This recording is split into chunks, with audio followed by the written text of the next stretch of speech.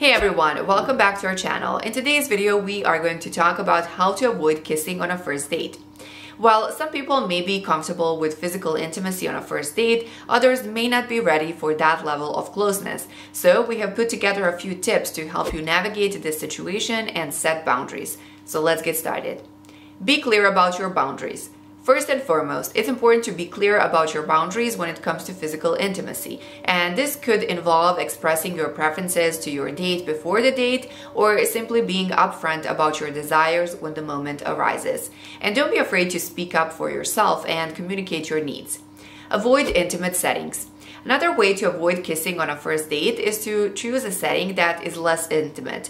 This could mean going to a public place, such as a coffee shop or park, rather than a more secluded location. This can help to create a sense of distance and make physical intimacy less likely.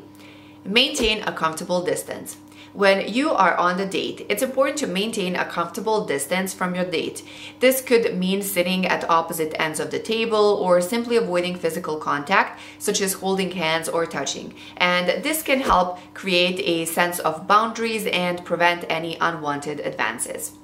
Redirect the conversation. Finally, if you feel like the conversation is heading towards physical intimacy, it's important to redirect the conversation.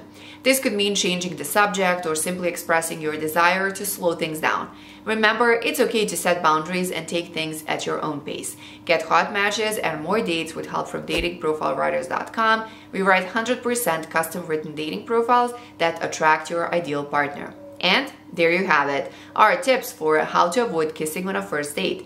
Remember, be clear about your boundaries, avoid intimate settings, maintain a comfortable distance, and redirect the conversation if necessary.